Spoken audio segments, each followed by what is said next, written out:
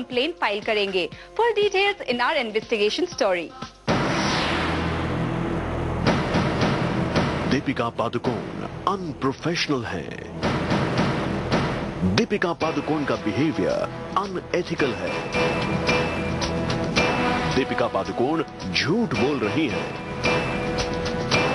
बॉलीवुड की top actress Deepika Padukone पर ये एलिगेशंस इंडियन फ़िल्म इंडस्ट्री में सालों से काम कर रहे प्रोड्यूसर रमेश तौरानी ने लगाए हैं दरअसल दीपिका पादुकोण ने छह दिन की शूटिंग करने के बाद रेस टू से अपने आप को बाहर कर लिया और फ़िल्म में काम करने से साफ़ इनकार कर दिया अब ऐसे में छह बड़े स्टार्स की फ़िल्म अधर में लटक गई जिसकी वजह से प्रोड्यूसर रमेश तौरानी दीपिका के रवैये से काफ़ी परेशान है बहुत ही निंदा नायक है और definitely unethical unprofessional and no actor does that मेरे, मैंने इतने लोगों के साथ काम किया है लाइफ में। मैंने कतरीना के साथ काम किया करिश्मा के साथ काम किया, करीना के साथ काम किया है, विद्या बालन के साथ काम किया, ऐश्वर्या राय के साथ काम किया। मेरे कभी और मेरे 28 साल के करियर में कभी ऐसा, कोई भी ऐसा एक केस या एक कंप्लेन एसोसिएशन में नहीं है। कोई भी आर्टिस्ट से हमारा कोई डिस्प्यूट नहीं है।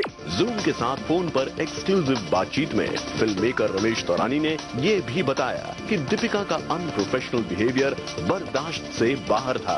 इसलिए वो अब दीपिका के खिलाफ एसोसिएशन में भी जाएँगे। जो एसोसिएशन के पास प्रोड्यूसर एसोसिएशन और सिने आर्टिस्ट एसोसिएशन सबके पास जाएँगे। Well, लेकिन एक लीडिंग न्यूज़पेपर में दीपिका पादुकोण के सोर्सेस का कहना है आपने फ़िल्म को बार बार डिले किया जिससे परेशान होकर दीपिका ने फ़िल्म छोड़ी। आप इस बारे में क्या कहेंगे? और आप ये खुद सोच सकते हैं जिस पिक्चर में छह बड़े स्टार्स हैं वो बाकी पाँच लोग झूठ बोल रहे हैं और एक एक सच बोल रही है। अगर उसको पिक्चर नहीं करनी तो एटलीस्ट सच तो बोले झूठ क्यों बोल रही है वो? तो मतलब झूठ क्यों बोलना चाहिए कि हमारी डेट वेस्ट की हमने उसने हमारे दस दिन के शेड्यूल में छह दिन काम किया है पाँच छह दिन काम किया नवंबर के शेड्यूल में जिसका उसके स्टाफ को हमने पेमेंट भी दिया है वो तो डॉक्यूमेंट्री एविडेंस है। अगर शूटिंग डिले नहीं हुई तो दीपिका के इस अनप्रोफेशनल बिहेवियर की क्या वजह हो सकती है? आखिर क्यों वो आपकी फ़िल्म में काम नहीं करना चाहती। तो उनके मैनेजर ने आके मुझे ये बोला था कि उसको once upon once lifetime opportunity मिल रही है हॉलीवुड पिक्चर करने की। तो आई थिंक वो तो झूठ था डेफिनेटली तो आई थिंक उनको रजनीकांत की शायद पिक्चर करनी होगी और वो मेरे डेटो में आ रही थी। वैसे दीपिका की जगह आप प्रियंका चोपड़ा को साइन कर रहे हैं। वो भी पाँच करोड़ में। इस खबर में है कितनी सच्चाई। ये सब गलत बात है हमने किसी से अभी तक बात नहीं की है। दीपिका पादुकोण पर पहली बार किसी प्रोड्यूसर ने इस तरह के एलिगेशन लगाए हैं। इसलिए हमने दीपिका से भी इस खबर की सच्चाई जाननी चाहिए। Constant delays reason for Deepika inability to do race to when the first delay है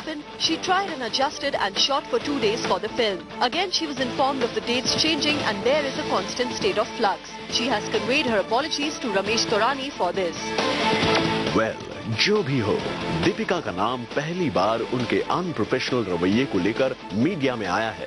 लेकिन इस खबर पर तब तक विश्वास नहीं किया जा सकता, जब तक दीपिका भी खुलकर मीडिया में अपना वर्जन ना दें, क्योंकि कहते हैं ना कि ताली एक हाथ से नहीं बचती वो कुणाल मांडेकर जूम मुंबई